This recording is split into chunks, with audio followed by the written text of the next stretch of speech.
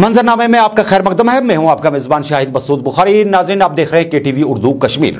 नाजरीन, आपको बताए देते हैं कि आज वज़ीर अजम हिंद नरेंद्र मोदी ने बाबा तौर पर जम्मू कश्मीर के लिए सेहत स्कीम का इफ्तः किया और इसकी रूह से अब जम्मू कश्मीर के हर एक मकीन को, यानी कि 120 करोड़ लोगों को बरह रास्त फ़ायदा मिलेगा।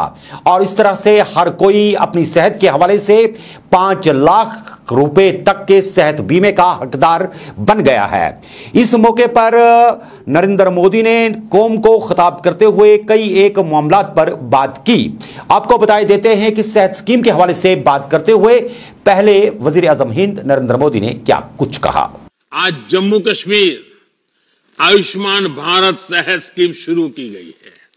आप सोचिए, जब इस स्कीम के तहत राज्य के प्रत्येक व्यक्ति को पाँच लाख रुपए तक का मुफ़्त इलाज मिलेगा तो उनके जीवन में कितनी बड़ी सहूलियत आएगी? अभी तक आयुष्मान भारत योजना का लाभ राज्य के करीब छह लाख परिवारों को मिल रहा था। अब सेहत योजना के बाद यही लाभ करीब करीब 21 लाख परिवारों को मिलेगा। साथियों बीते दो सालों में डेढ़ करोड़ से ज़्यादा गरीबों ने आयुष्मान भारत योजना का लाभ उठाया है। इससे जम्मू कश्मीर के लोगों को भी मुश्किल से समय में बहुत राहत मिली है। यहाँ के करीब एक लाख गरीब मरीजों का अस्पताल में पाँच लाख रुपए तक का मुफ़्त इलाज किया गया है। इसमें भी जिन बीमारियों का सबसे ज़्यादा इलाज हो रहा है, उसमें कैंसर, हार्ट और ऑर्थो से जुड़ी बीमारियाँ सबसे ज़्यादा है। ये ऐसी बीमारियाँ हैं जिन पर होने वाला खर्च किसी भी गरीब की नींद उड़ा देता है। और हमने तो देखा है कि कोई गरीब परिवार मेहनत करके थोड़ा ऊपर आए और मध्यम वर्ग की और आगे बढ़े, और अगर परिवार में कोई एक बीमारी आ जाए तो फिर वो गरीबी के चक्कर में वापस फंस जाता है। भाइयों, बहनों, जम्मू कश्मीर की वादियों में हवा इतनी शुद्ध है, प्रदूषण इतना कम है, कि स्वाभाविक रूप से हर कोई चाहता है और मैं तो ज़रूर चाहूँगा कि आप हमेशा स्वस्थ रहें। हाँ, अब मुझे ये तसल्ली है कि बीमारी की स्थिति में आयुष्मान भारत सेहत स्कीम आपकी एक साथी बनकर मौजूद रहेगी। साथियों, इस स्कीम का एक और लाभ होगा, जिसका ज़िक्र बार बार किया जाना ज़रूरी है। आपका इलाज सिर्फ़ जम्मू कश्मीर के सरकारी और प्राइवेट अस्पतालों तक सीमित नहीं रहेगा, बल्कि देश में इस योजना के तहत जो हज़ारों अस्पताल जुड़े हैं, वहाँ भी ये सुविधा आपको मिल पाएगी। आप मान लीजिए मुंबई गए हैं और अचानक ज़रूरत पड़ी तो ये कार्ड मुंबई में भी आपके काम आएगा। आप चेन्नई गए तो वहाँ भी काम आएगा। वहाँ के अस्पताल भी मुफ़्त में आपकी सेवा करेगी। आप कोलकाता गए हैं तो वहाँ मुश्किल होगा, क्योंकि वहाँ की सरकार आयुष्मान योजना से नहीं जुड़ी है। कुछ लोग होते हैं, क्या करें?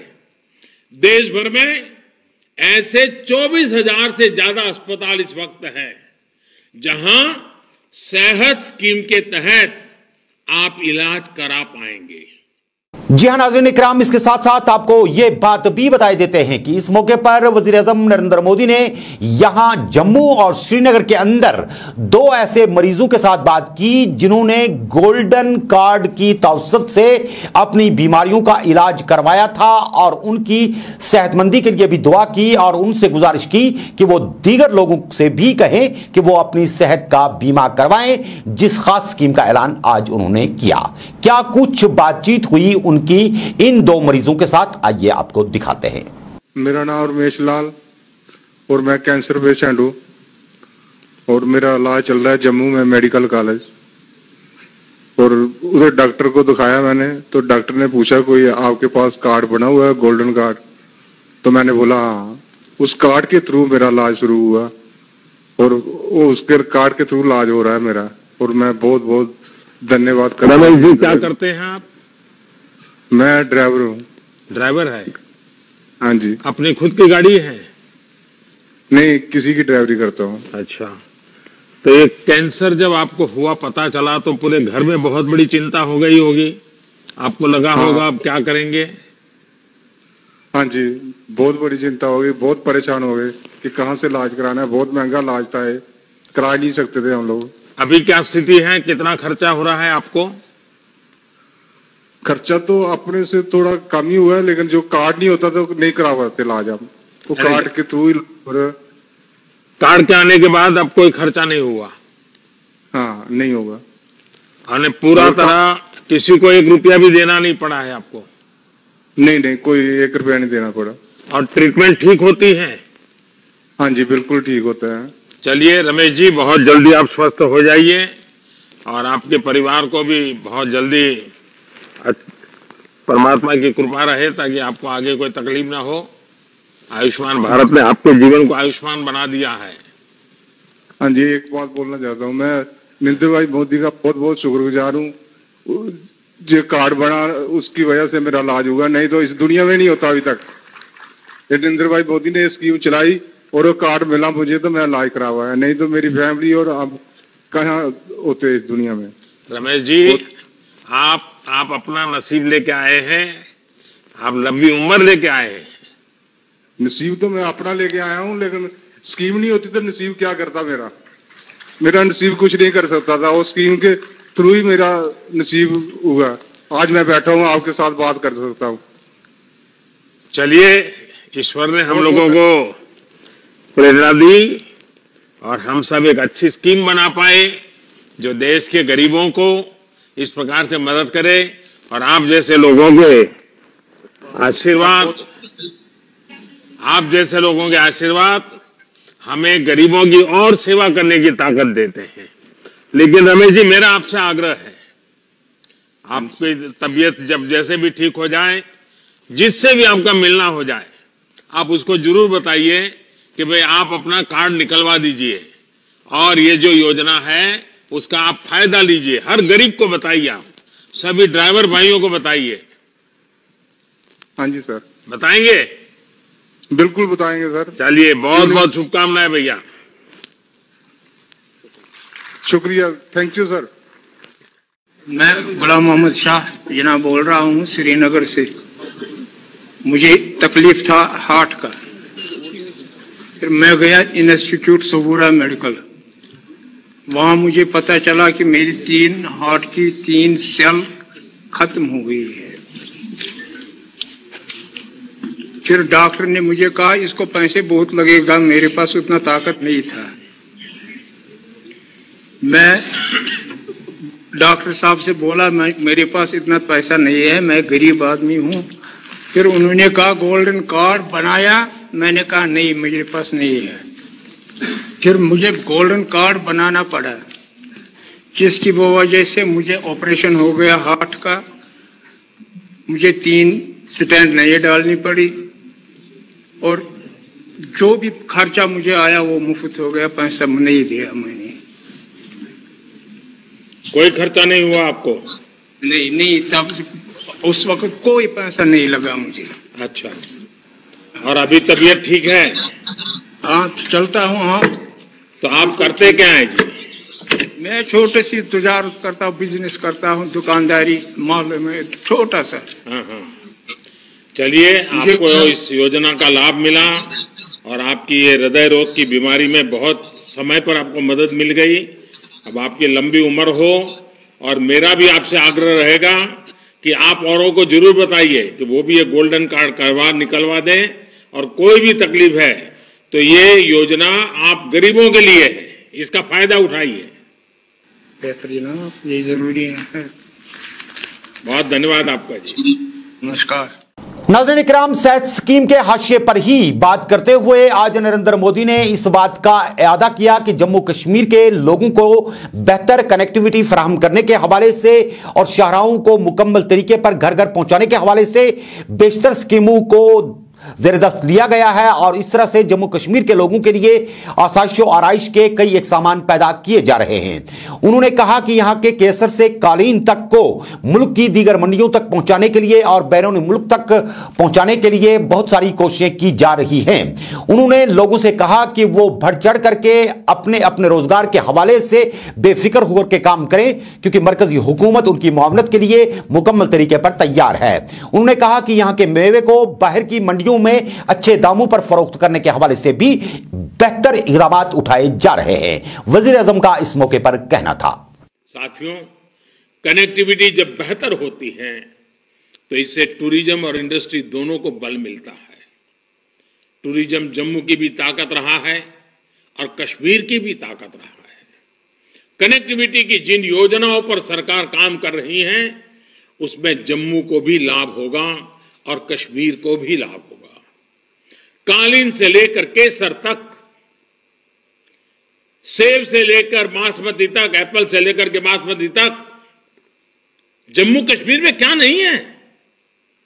कोरोना की वजह से हुए लॉकडाउन के दौरान भी सरकार ने इस बात का ध्यान रखा कि यहाँ के एप्पल किसानों को दिक्कत कम से कम हो, बाज़ार में सही तरीके से समय पर माल पहुँचे, हमारी सरकार ने कुछ महीने पहले निर्णय भी लिया कि एप्पल की खरीद के लिए मार्केट इंटरवेंशन स्कीम को पिछले साल की तरह ही इस साल भी लागू रखा जाएगा।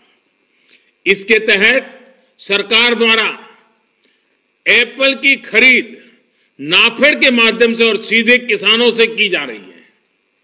जो एप्पल खरीदा जा रहा है, उसका भुगतान भी डायरेक्ट बेनिफिट ट्रांसफ़र के ज़रिए सीधे किसानों के बैंक खातों में किया जा रहा है। इस स्कीम के तहत 12 लाख मैट्रिक टन एप्पल खरीदा जा सका है। और ये जम्मू कश्मीर के किसानों को एक प्रकार से बहुत बड़ी सुविधा हुई है। हमारी सरकार ने नाफेड को इस बात के लिए भी स्वीकृति दी है कि वो 2500 करोड़ रुपए की सरकारी गारंटी का उपयोग कर सके। एप्पल की खरीद के लिए, आधुनिक मार्केटिंग प्लेटफॉर्म उपलब्ध कराने के लिए, ट्रांसपोर्टेशन की सुविधाएँ बढ़ाने पर सरकार ने लगातार प्रगति की है। एप्पल की स्टोरेज के लिए सरकार जो सहायता कर रही है, उसमें भी किसानों को बहुत लाभ हुआ है। यहाँ पर नए किसान उत्पादक संघ एफपीओ का निर्माण हो, अधिकतम बने, इसके लिए भी लगातार प्रशासन प्रयास कर रहा है। नए कृषि सुधारों ने जम्मू में भी और घाटी में भी दोनों जगह फ़ूड प्रोसेसिंग इंडस्ट्री के लिए नए अवसर बना दिए हैं। इससे हज़ारों लोगों को रोज़गार और स्वरोजगार के मौका मिलने वाला जी नाजरन इक्राम वजी अजम नरेंद्र मोदी ने कहा है कि जम्मू कश्मीर के लोगों के रोज़गार के हवाले से बड़े इकदाम उठाए जा रहे हैं और इस हवाले से कई एक गवर्नमेंट जॉब्स और प्राइवेट सेक्टर्स के अंदर जॉब्स प्रोवाइड करने के लिए अपॉर्चुनिटीज़ भी क्रिएट की जा रही हैं।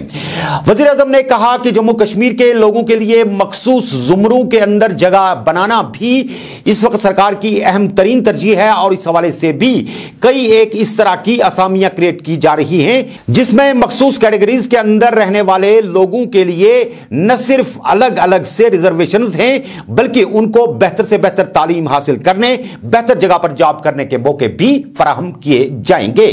इस हवाले से क्या कुछ बात की वज़ीर आज़म ने, आइए आपको दिखाते हैं। आज जम्मू कश्मीर में, जहाँ एक तरफ़ हज़ारों सरकारी नौकरियाँ नोटिफाई की जा रही हैं, वहीं दूसरी तरफ़ स्वरोजगार के लिए भी कदम उठाए जा रहे हैं। बैंकों के ज़रिए अब जम्मू कश्मीर के नौजवान कारोबारियों को आसानी से लोन मिलना शुरू हुआ है। इसमें भी हमारी बहनें जो सेल्फ हेल्प ग्रुप से जुड़ी हैं, वो ज़्यादा से ज़्यादा संख्या में आगे आ रही हैं। साथियों, पहले देश के लिए अधिकतर जो स्कीम बनती थी, जो कानून बनते थे उनमें लिखा होता था, एक्सेप्ट जे के. अब ये इतिहास की बात हो चुकी है।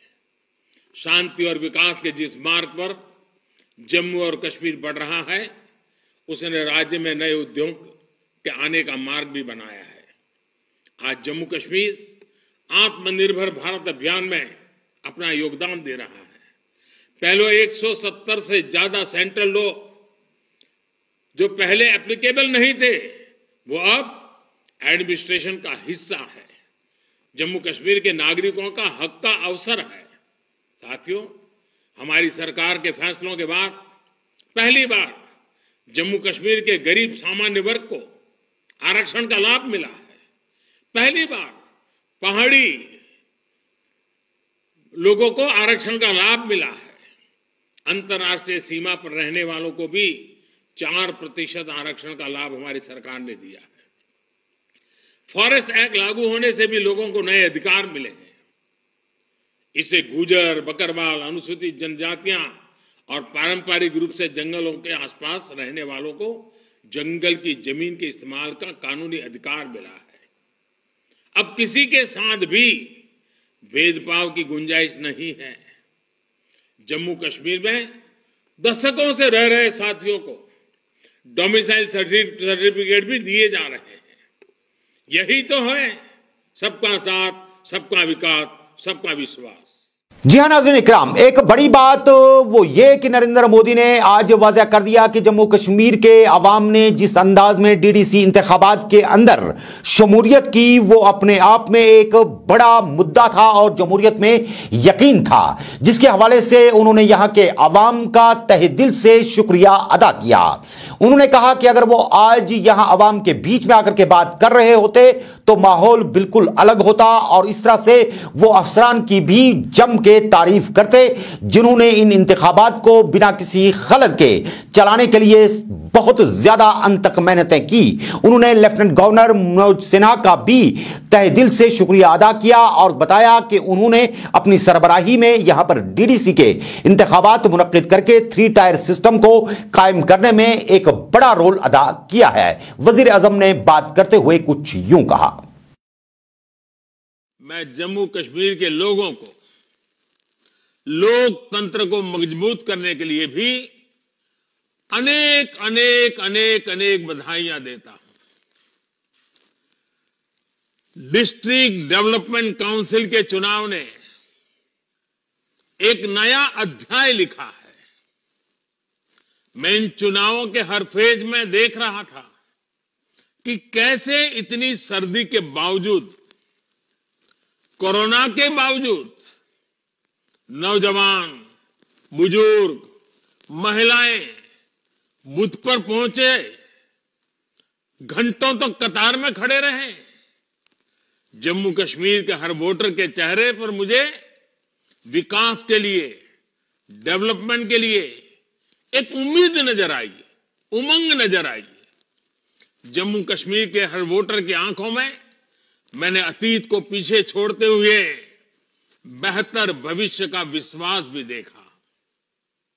साथियों, इन चुनावों में जम्मू कश्मीर के लोगों ने लोकतंत्र की जड़ों को और मज़बूत करने का काम किया है। और मैं ये भी कहना चाहूँगा कि जम्मू कश्मीर का प्रशासन, सुरक्षा बल, जिस प्रकार से उन्होंने इस चुनाव का संचालन किया और सभी दलों की तरफ़ से ये चुनाव बहुत ही ट्रांसपेरेंट हुए, नेक नियत से हुए। ये जब मैं सुनता हूँ तो मेरा इतना मुझे गर्व हो रहा है कि जम्मू कश्मीर से चुनाव निष्पक्ष होना, स्वतंत्र होना, ये बात जम्मू कश्मीर की तरफ़ से सुनता हूँ। तो लोकतंत्र की ताकत का हमें और विश्वास मज़बूत हो जाता है। मैं प्रशासन को भी, सुरक्षा बलों को भी ढेर सारी बधाइयाँ देता हूँ। आपने छोटा काम नहीं किया है, बहुत बड़ा काम किया है। आज मैं अगर रूबरू में होता तो सब प्रशासन के लोगों को जितनी तारीफ़ करता, शायद मेरे शब्द कम पड़ जाते। इतना बड़ा काम आपने किया है। आपने देश में एक नया विश्वास पैदा किया है। और उसका क्रीड़ा क्रेडिट मनोज जी और उनके सरकार के प्रशासन के सब लोगों को जाती है। भारत के लिए गौरव का पल है। नाजन कराम आपको बता देते हैं कि वजी अजम नरेंद्र मोदी ने जहाँ पर हुकूमती इदारों की बड़ी तारीफें की, वहीं दूसरी तरफ़ नेशनल कॉन्फ्रेंस के सरबरा और पीएचजीडी के सबसे बड़े रुकन उमर अब्दुल्ला की बात करते हैं तो उन्होंने आज न सिर्फ़ मरकजी हुकूमत को हथफ तनकीद बनाया, बल्कि यहाँ पर अपनी पार्टी के हवाले से भी कई एक बातें की। उन्होंने कहा कि यहाँ की इंतजामिया और यहाँ की सरकार न सिर्फ़ मखसूस पार्टियों के अरकान को तंग करती है, बल्कि अब बेजा मुदाखलत करके जमहूरियत को खुद ही तार तार करने की कोशिशें कर रही है। उन्होंने अपनी एक लंबी प्रेस कॉन्फ्रेंस के दौरान कहा कि जम्मू कश्मीर के अंदर अवाम ने खुल के दिल से वोट किया और इस बार नेशनल कॉन्फ्रेंस को और दूसरी जमातों को अलग अलग अपने कैंडिडेट उठाने का मौका नहीं मिला। उन्होंने कहा कि वो जानबूझ के खुद किसी भी जगह पर किसी की कंपेन करने के लिए नहीं गए, क्योंकि वो देखना चाहते थे कि पीएचडी के मौकफ को किस तरह से लोग यहाँ पर सराहते हैं। और इस तरह से जहाँ भारतीय जनता पार्टी को जम्मू खित्ते में एक अच्छा मैंडेट मिला, क्योंकि हर सीट पर उनके कैंडिडेट लड़ रहे थे, इन्होंने अपने कैंडिडेट कम ही उठाए, यानी कि पीएचडी ने। लेकिन फिर भी अवाम की भारी मात्रा ने उन्हें जो अपना सपोर्ट दिया है, वो उसकी कदर करते हैं। लेकिन उसके साथ ही मरकजी हुकूमत और अपनी पार्टी के लोग यहाँ पे न सिर्फ़ मामलात में मुदाखलत कर रहे हैं, बल्कि अफसरान की तरफ़ से भी अब उन कैंडिडेट्स को जो यहाँ पर डीडीसी के इंतबात जीत के आए हैं, न सिर्फ़ उन्हें तंग तलब किया जा रहा है, बल्कि उनकी फैमिलियों को भी हरासा किया जा रहा है। बड़े इल्ज़ाम उमर अब्दुल्ला लगा रहे थे। और उसके साथ साथ उन्होंने यह भी बताया कि कुछ लोगों को ज़बरदस्ती अब पार्टियाँ बदलने के लिए मजबूर किया जा रहा है और कई लीडरान को गिरफ़्तार भी किया जा रहा है, जिसे कत्ती तौर पर बर्दाश्त नहीं किया जाएगा, क्योंकि नहीं उन्होंने नुक्से अमन के हवाले से कोई रैली निकाली, ना रैली निकालने का प्रोग्राम था, ना अपनी डीडीसी के लोगों के हवाले से कोई जश्न मनाए, न कहीं पर सड़कों पर ट्रैफ़िक रोका। इसके बावजूद भी अगर मामला ऐसे ही रहे तो नतीजे जो हैं वो बिल्कुल ब्रैक्स हो सकते हैं उमर अब्दुल्ला की प्रेस कॉन्फ्रेंस में। क्या कुछ नज़र आया? आइए आपको दिखाते हैं। कि आज आप इस ठंड में यहाँ बाहर हमारे इस प्रेस कॉन्फ्रेंस में शिरकत करने आए बड़ी मुद्दत के बाद इस तरह आप सबसे मुलाकात का मौका जो है हासिल हुआ है। शायद पिछले साल जुलाई, अगस्त के बाद ये पहली मरतबा है कि तमाम प्रेस को एक साथ बुला के आप सबसे बातचीत करने का मौका मिला है। आज आपको बुलाने का जो मकसद है, वो बिल्कुल क्लियर है। हाल ही में हुकूमत ने यहाँ पे डीडीसी के इलेक्शन कराए हैं। नतीजे सबके सामने हैं। कितनी पार, किस पार्टी ने कितने सीट लिए? यहाँ पे कश्मीर वादी में और जम्मू में नतीजे क्या रहे वो कोई छुपी बात नहीं है। सबको मालूम है कि किन किन ज़िलों में अक्सरियत किसकी है? इलेक्शन के नतीजों के बाद बार बार दिल्ली से, यहाँ की हुकूमत से, बीजेपी के आला जो स्पोक्स पर्सन या जो पोस्ट पे बैठे हुए हैं, उन्होंने एक ही बात कही कि ये जमहूरियत की जीत है। आज भी वज़ी अजम साहब जब एक सेहत को लेके प्रोग्राम का इनाग्रेशन कर रहे थे तो उन्होंने काफ़ी सारी बातें डीडीसी इलेक्शन के हवाले से की और कहा कि ये जमहूरियत है और जमहूरियत की जीत हुई है। अगर वाकई जमहूरियत की जीत हुई है तो फिर जमहूरी तरीक़ों से ही अगला कदम जो है लिया जाना चाहिए। और अफसोस की बात यह है कि ये नहीं हो रहा है। पता नहीं किन वजहों से हुकूमत के कुछ अफसरों ने किसके कमांड पे ये हमें मालूम नहीं है। लेकिन नतीजे निकलने के बाद उन्होंने दखल देना शुरू किया है। गिरफ्तारियाँ पकड़ दकड़ धमकियाँ। और मकसद सिर्फ़ यही है कि जिन ज़िलों में पीपल्स अलायंस का, मैं कश्मीर ज़िले के, कश्मीर प्रोविंस की बात कर रहा हूँ, जिन ज़िलों में पकड़ दकड़ के ज़रिए वो रिज़ल्ट को तब्दील कर सकते हैं, और डीडीसी चेयरमैन जो है अलायंस को छोड़ के दूसरी पार्टी का बना सकते हैं वहाँ पे ज़ोरों शोर से ये काम चल रहा है। फ़िलहाल, शुरुआत उन्होंने शुपैया ज़िले से की है। मेरे दो साथी सीनियर, बच्ची के हमारे एक्स एमएलसी शौकत गनाई साहब, और शुपैया के हमारे सेगमेंट इंचार्ज, शबीर अहमद कुल्ले साहब। बार वो, वहाँ के बार के प्रेसिडेंट भी हैं, लेकिन उनका सबसे अहम रोल जो है वो नेशनल कॉन्फ्रेंस के, वहाँ पे सीनियर लीडर के हैसियत से है। नतीजों के बाद दोनों को वहाँ से उठाया गया। दोनों को कहते हैं प्रिवेंटिव डिटेंशन में लिया गया। अब वो क्या प्रिवेंट कर रहे हैं, समझ में नहीं आता। क्योंकि सिवाय डेमोक्रेसी के और किसी चीज़ को प्रिवेंट नहीं किया जा रहा है वहाँ पे। शबीर कुल्ले साहब वो हैं जिनको 5 अगस्त के बाद भी प्रिवेंटिव डिटेंशन में बंद नहीं किया गया। अगर तब उनको बंद करना ज़रूरी नहीं था तो आज नतीजों के बाद उनको बंद क्यों किया गया, वो अब हमें मालूम चल रहा है। क्योंकि वहाँ पे एक एक करके जो जीते हुए लोग हैं, उनको श्रीनगर ला के अपनी पार्टी जो है उसमें ज्वाइन किया जा रहा है। इसमें इंडिपेंडेंट्स भी हैं, इसमें कांग्रेस के भी हैं, पीडीपी के भी हैं, और बदकिस्मती से कल हमने देखा कि नेशनल कॉन्फ्रेंस के मैंडेट पे नेशनल कॉन्फ्रेंस के सिंबल पे जो एक लेडी वहाँ जीत के आई मुमताज़ यास्मीना यास्मीना सॉरी उनको भी आ, कल ज़बरदस्ती। अपनी पार्टी में शामिल किया गया। और मैं सोच समझ के ये अल्फाज ज़बरदस्ती इस्तेमाल कर रहा हूँ क्योंकि मेरे एक साथी यहाँ बैठे हैं जिन्होंने टेलीफोन की रिकॉर्डिंग की है जिसके बाद सर बिल्कुल क्लियर ये पता चल जाता है कि यहाँ पे एडमिनिस्ट्रेशन और एडमिनिस्ट्रेशन के कुछ लोग हुकूमत और पुलिस का इंतज़ाम इस्तेमाल कर रहे हैं, गिरफ्तारियाँ कर रहे हैं, पकड़ रहे हैं, और छोड़ने की कीमत उन लोग, जिनको पकड़ा जा रहा है, छोड़ने की कीमत ये है कि आप आइए, अपनी पार्टी ज्वाइन करिए, और उसके बाद इन लोगों को छोड़ा जाएगा। तीन दिन के बाद। एक सेकंड वो है माइक यहाँ पे हमने लाया था। बस बस यहाँ पे आप कीजिए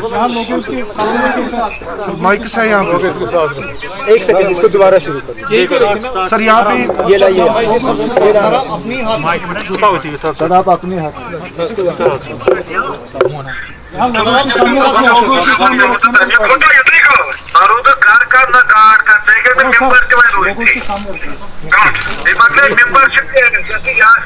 फ़ोटो कार कार ते ते हा तिची पार्टी रोज मज़बूत आहे एक है मागले मेंबरशिप आहे सबसे बड़ा क्या है सर। यहाँ पर हनी मुझे बस। कह दे मुझे खाली है मुझे ना वर्ड में बाना कह मेरा बाना क्या वर्ड मतलब मैं जितना वर्ड बाना कह अलता बना हाँ। क्या तो बस Domnul Carte, îți gândesc banul. Cu o să ai, să că jai de să nu fac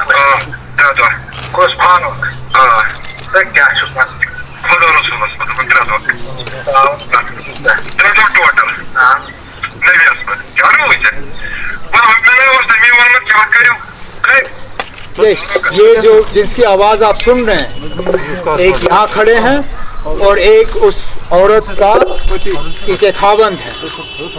खावंत के भाई को पकड़ के लिया गया है और खावंत को कहा जा रहा है कि आप अपनी बीवी को अपनी पार्टी में ज्वाइन करा दो। तीन दिन के अंदर अंदर हम आपके भाई को छोड़ देंगे। वो गई, अपनी पार्टी ने उसको हार पहना दिया और जमहूरियत का एक बार फिर यहाँ पे कत्ल का सिलसिला जो है, उसको कर दिया। हालाँकि हम समझ नहीं पाते अगर पार्लियामेंट में एंटी डिफेक्शन है, अगर के असेंबली में एंटी डिफेक्शन है तो पंचायतों में भी है तो फिर एंटी डिफेक्शन का कानून यहाँ पे भी लगना चाहिए। ये फौरी तौर डिस्कालीफाई हो जाए, नए सिरे से इलेक्शन कराएँ, हम भी देखते हैं कौन कहाँ खड़ा है। लेकिन अब ये जमहूरियत नहीं है। लोगों ने अपना फैसला सुना दिया है। अब कबूल करिए। जमहूरियत का मतलब है कि हार जीत हम कबूल करें। अगर के हमें मान मान, हम मान के चलें कि ये लोगों का फैसला है। अगर हम हार गए होते, हम कबूल करते कि हम हार गए। लेकिन ज़्यादातर सीटें पीपल्स अलायंस को लोगों ने दी हैं। समझ में नहीं आता ये बीजेपी अपनी पार्टी, रियासत की हकूमत और मरकज की हकूमत, ये इस चीज़ को कबूल क्यों नहीं कर पाते? हम आज इस प्रेस कॉन्फ्रेंस के ज़रिए दोनों जम्मू कश्मीर की हुकूमत को और मरकज की हुकूमत को ये कहना चाहते हैं कि जमहूरियत के साथ खिलवाड़ मत करिए। जम्मू कश्मीर ने वैसे भी इन चीज़ों का बहुत बड़ी कीमत चुकाई है। अगर के वज़ीर आज़म साहब खुद कहते हैं कि इन इलेक्शनों में जमहूरियत की जीत हुई है। जमहूरियत को वो कहते हैं उन्होंने दोबारा ज़िंदा किया है। तो मेहरबानी करके अपने एडमिनिस्ट्रेशन को, अपने पुलिस को, अपने सिविल अफसरों को कहिए कि वो इन चीज़ों में दखल ना दें। जहाँ पे मेरे दो सीनियर साथी अब कैद में हैं, उनको फौरी तौर छोड़ दिया जाए और जो इस तरह जीते हुए कैंडिडेट्स के फैमिलीज़ के साथ छेड़छाड़ की जा रही है। इसको रोक दिया जाए ताकि आवाम की जो आवाज़ है, वो सब पूरी तरह से सुन पाए। यही मैं आपसे कहना चाहता था, और इसके बाद आपके कोई सवाल होंगे तो मैं जवाब देने की कोशिश करूँगा। उमर साहब भाजपा कह रही है कि धारा 370 खत्म होने के बाद लोग अब जोक दर जोक हिस्सा लिया है इस डीडीसी इलेक्शन में। आप कह रहे हैं कि ये इस पावर के खिलाफ है तो किन किन किन की हम सुने? बीजेपी का कहना ही गलत है। क्योंकि अगर आप इन इलेक्शनों का मुकाबला 2014 के असेंबली इलेक्शन के साथ करें तो लोगों की पार्टिसिपेशन जो है उस इलेक्शन के मुकाबले कम रही। अब चलिए, असेंबली का शायद लोकल इलेक्शन के साथ मुकाबला नहीं करना चाहिए। पंचायत इलेक्शनों के साथ मुकाबला करिए जो 2011 सत्तर अस्सी फ़ीसदी से कम कश्मीर की वादी में वोट नहीं पड़े। तो अगर बीजेपी का ये मानना है कि इससे पहले इस तरह इलेक्शनों में लोगों ने हिस्सा नहीं लिया, वो गलत है। हाँ ये हम ज़रूर कह सकते हैं कि 2019 के बाद, खासकर 5 अगस्त के बाद इलेक्शन कराए गए और अगर 2018 के पंचायत इलेक्शनों के साथ इसका मुकाबला करें तो टर्नआउट ज़्यादा बेहतर रहा। लेकिन अभी भी अगर आप जम्मू का मुकाबला कश्मीर के साथ करें तो इतनी बड़ी पार्टिसिपेशन नहीं रही कश्मीर से जितनी शायद बीजेपी वाले एक्सपेक्ट कर रहे थे। उमर साहब on many seats we have seen that PDP which was a constant of PAGD and your party they had candidates for example even CPIM had certain candidates in Kulgam district what was the alliance about then if you couldn't agree on on the majority of share on the majority of seats we agreed On some seats, uh, on some seats there was there was an exception where uh, the alliance had candidates from multiple parties. But please understand the circumstances under which we fought these elections. This alliance came into being only a few months ago. Barely had the alliance come into being that this government announced the elections the process of elections had already started. The first notification had already been issued when we sat down to discuss whether to participate or not. In fact, most commentators had made up their minds that the alliance would not even survive seat sharing negotiations.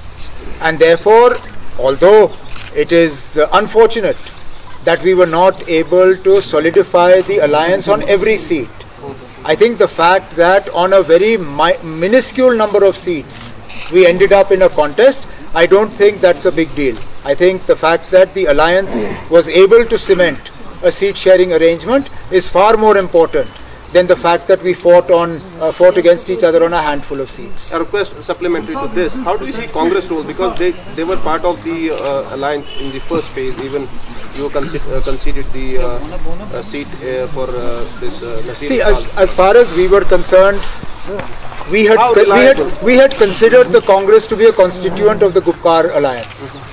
because the Congress was part of the original signatories. On 4th August 2019, the Congress was part and parcel of the meeting of the then uh, what, what became the Gupkar Alliance. Uh, subsequent to that, as the uh, seat sharing negotiations and discussions started, there was a press uh, statement issued from Delhi in which they distanced themselves from the alliance. They wanted only a seat sharing arrangement with us, which was not acceptable to us.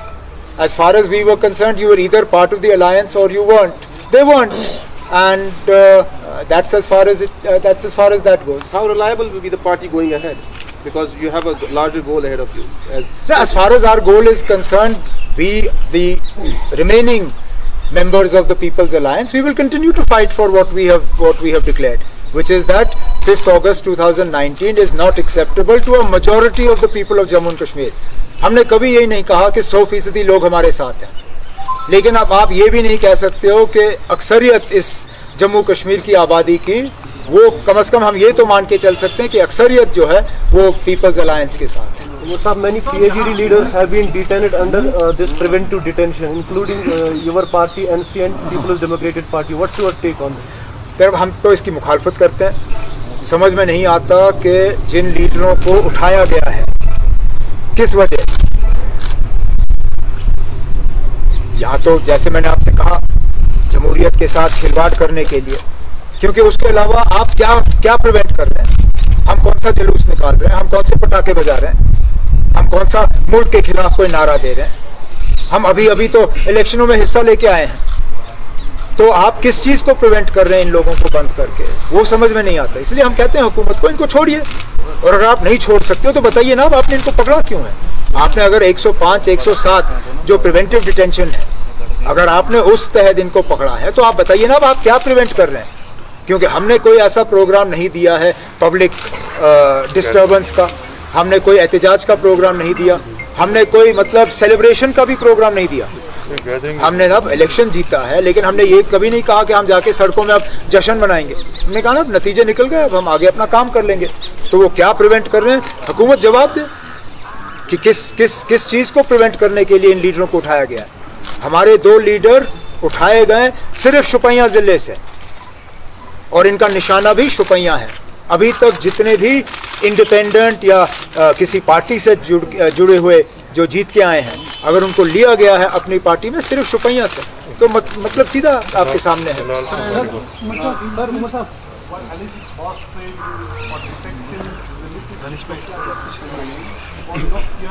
Candidates को security नहीं दी। मैंने कभी ये इल्ज़ाम नहीं लगाया कि मुझे कैंपेन करने नहीं दिया। हकीकत यह है कि ना मैंने कैंपेन करने की कोशिश की, ना मेरा कैंपेन करने का कोई इरादा था। लेकिन इस बात से भी इनकार नहीं किया जा सकता कि अक्सर बेचतर हमारे जो कैंडिडेट्स थे, उनको शुरू शुरू में गेस्ट हाउसों में और होटलों में रखा गया और उनको निकलने नहीं दिया। और फिर उन्होंने कैंपेन को मज़ाक बनाया। बड़ी अजीब कैंपेन रही इस बार। कि अलग अलग पार्टियों के कैंडिडेट्स को एक साथ एक ही गाड़ी में बिठाया जाता था। फिर इलाके में लिया जाता था। फिर उनको कहा जाता था कि आपके पास दो घंटे हैं कैंपेन करिए और दो घंटे के बाद वापस आइए। और फिर वो कैंपेन उस इलाके में करके सारे कैंडिडेट्स फिर वापस आके उस गाड़ी में बैठते थे। और फिर एक साथ जाके गेस्ट हाउस वापस चले जाते थे। ये ये कौन सा इलेक्शन है? ये कहाँ का कैंपेन है जनाब? हमारी, ये मैं, मेरी समझ में नहीं आता। हम जब हुकूमत में थे, हमारी सबसे ज़्यादा कोशिश ये रहती थी कि ज़्यादा से ज़्यादा कैंडिडेट हो और ज़्यादा से ज़्यादा वोट पड़े। ये पहली मरतबा है कि मैंने इलेक्शन देखा, जिसमें कैंडिडेट होना भी सज़ा और इलेक्शन को रोकना और कम वोट पड़ना, ये भी हुकूमत की कोशिश रही। सर सर मेरा लास्ट क्वेश्चन है सर सर एनसी पिछले दो तीन पह, दिन पहले एक प्रोटेस्ट आया था प्रेस श्रीनगर प्रेस कॉलोनी में। उसमें यह बताया गया था उन्होंने वो एलिगेशन लगाया कि एनसी ने कंगन ए में धांधली की है इलेक्शन में। किसने? और कंगन ए कंगन ए से सर कंगन ए और बी सर पूरे कंगन में ये एलिगेशन है सर और खाग जो बडगाम का एरिया है वहाँ से भी लोग आए थे। एनसी ने वहाँ पे वाजवान खिलाया लोगों को। क्या वाजवान वाजवान अब नहीं नहीं उन्होंने कहा कि पोलिंग बूथ के अंदर चार स्टॉल लगाया अगर चलिए पहले खाग की बात करते हैं। अगर खाग में हमने वाजवान खिलाए तो मुझे लगता है मेरे उम्मीदवार को उस एक एक घर में जाके उस वाजवान के पैसे वापस लेने चाहिए क्योंकि हम सीट हारे। चलिए सर हम सीट हारे। जहाँ तक आप कंगन की बात करते हो कौन रोकता है ना आपको इंक्वायरी करने से? हम हुकूमत में बैठे नहीं है हम क्या धांधली करेंगे ना मैं मानता अगर हुकूमत हमारी होते अफसर हमारे होते पुलिस वाले सड़क पे हमें सलाम कर रहे होते मैं कहता ना हाँ हम धांधली करने वाले हैं। हमको भूत तब हम हम ना हमें ना कैंपेन करने दिया ना हमें निकलने देते हैं। हमारे उम्मीदवार हमारे लोगों को बंद किया जाता है। धांधली हम करें। वहाँ के सारे इंडिपेंडेंट कैंडिडेट्स आए प्रेस कॉल क्योंकि हमने जीता अगर उनके पास सबूत है तो ले जाना हुकूमत के पास। नहीं, हमने आपको अभी सबूत पेश किया। सबूत के बुनियाद पे हम आपसे कह रहे हैं कि जमहूरियत खिलवाड़ हो रहा है। वो लाए सबूत जो भी हुकूमत का फैसला होगा हमारे शुक्रिया। देखा जाए तो by and large the general rule of thumb is that bail not jail अब वो इतने मतलब अरसे से अंदर है। उनसे जितनी पूछताछ होनी थी हो गई है। अब तो अदालत के ज़रिए उनको बेल मिल जाना चाहिए। उसके बाद as I said in an interview to one of our channels the other day the law presumes you to be innocent until proven guilty अगर इंजीनियर रशीद या किसी और के खिलाफ आपके पास इतना सबूत है तो लड़िए ना केस कोर्ट में। आप आप कोर्ट में केस लड़िए इंजीनियर रशीद साहब वहाँ अपनी सफ़ाई देंगे और अदालत के ज़रिए फैसला होगा कि वाकई क्या ये गुनहगार हैं या नहीं है। लेकिन ऐसे बंद रखना तो this is not the way in which law should function sir अगर हम अभी देखें जम्मू कश्मीर एक सीटें अब ज़्यादा सीटें तो हमने ली। एस पी के बगैर नहीं ना एस पी के बगैर कैसे? ये तो आप, आप फिर कहोगे एज यूपीए के बगैर एज एनडीए के बगैर एज अलायंस के बगैर। हमने जनाब हमने इलेक्शन के बाद तो अलायंस नहीं बनाई ना। हम इलेक्शन से पहले अलायंस में गए। हमने लोगों से कहा कि हम मिलके इलेक्शन लड़ रहे हैं। लोगों ने मतलब इंडिविजुअली तो हमें वोट नहीं दिए जॉइंट वोट वोट दिए। तो आ, ये तो नहीं कहा जा सकता कि बीजेपी ने जो है ज़्यादा सीटें ली। हाँ वोट शेयर बीजेपी का हमारे मुकाबले में ज़्यादा है, वो उसके दो वजह हैं। एक तो उन्होंने हमसे ज़्यादा सीटें लड़ी और दूसरा, हम जानते हैं ना अब यहाँ और सबसे ज़्यादा सीटें peoples alliance for Gupkar declaration के हैं।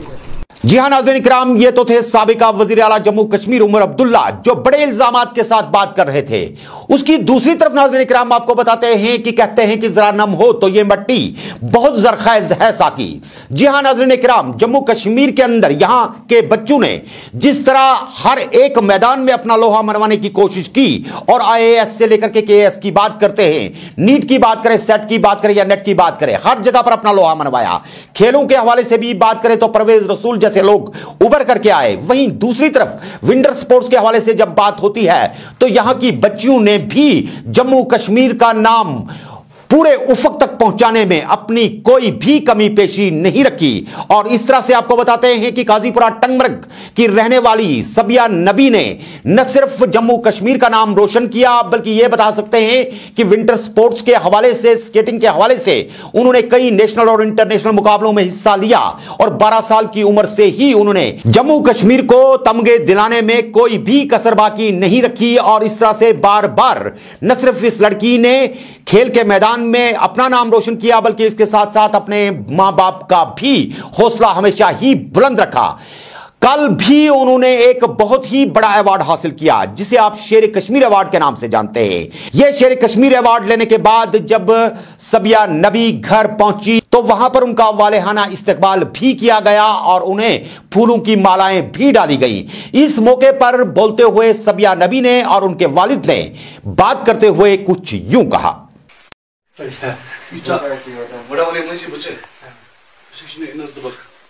Actually, मैंने uh, I was only 12 years old when I started this beautiful journey of skiing. तो उसके बाद मैंने तीनों courses youth service and sports से किए। उसके बाद मैंने बहुत सारे इवेंट्स में पार्टिसिपेट करना स्टार्ट किया, जिसमें मेरे, मेरी बहुत अच्छी परफॉर्मेंस रही आज तक, जिसमें गोल्ड रहा सिल्वर रहा ब्रोंज रहा that encourage me a lot so उसके बाद मैंने बहुत सारे नेशनल्स खेले। जूनियर नेशनल मैंने 2012 में खेला, जिसमें मुझे डबल गोल्ड रहा। तो उस चीज़ ने मुझे बहुत ज़्यादा इनक्रेज किया। तो उसके बाद मैंने बहुत सारे नेशनल्स खेले। इवन 2018 में मैंने इंटरनेशनल खेला। सो so, उसके बाद uh, मैंने बहुत सारे इवेंट इस साल फ़र्स्ट टाइम खेलो इंडिया हुआ उसमें डबल गोल्ड रहा मेरा। तो ओवरऑल परफॉर्मेंस के बेसिस पे मुझे ये आज कश्मीर का बहुत बड़ा अवार्ड मिला है शेर कश्मीर अवार्ड तो I am really very excited so I don't know कि how to put my excitement into words मैं ये खुशी बिल्कुल भी मतलब इजहार नहीं कर सकती how much I am happy to तब भी बहुत अच्छी फीलिंग रही कि ये जो भी अवार्ड्स मुझे आज तक मिले हैं इन इन चीज़ों ने मुझे बहुत इनक्रेज किया है इस सपोर्ट में आगे बढ़ने के लिए. सो ओवरऑल uh, uh, जो भी इवेंट्स मैंने आज तक खेले हैं मेरी बहुत अच्छी परफॉर्मेंस रही है. तो overall that actually very much encourage me to excel in this field लड़कियों के लिए मोर uh, देन लड़कियों के लिए मुझे पेरेंट्स के लिए मैसेज देनी है कि जैसे मुझे घर वालों ने they give me freedom to live my own dreams to live my life according to my own choices उनको मैं बोलना चाहूँगी आप अपने बच्चों को वैसे ही फ्रीडम दीजिए उनके साथ रहिए उनके अप्स डाउन्स uh, में। तो whatever they want in their life तो उनके साथ रहिए उनको वो चीज़ें करने के लिए आ, साथ रहिए तो इनशाला they will make you proud once in their life आज ये अवार्ड फक्र की बात है मेरी बेटी को जिसने ये अवार्ड हासिल किया। ये छोटा मोटा अवार्ड नहीं है ये बहुत बड़ा अवार्ड है शेर कश्मीर अवार्ड बहुत बड़ा अवार्ड है हासिल किया। मैं आज बहुत खुश हूँ बहुत खुश हूँ कि कहने की कोई बात नहीं।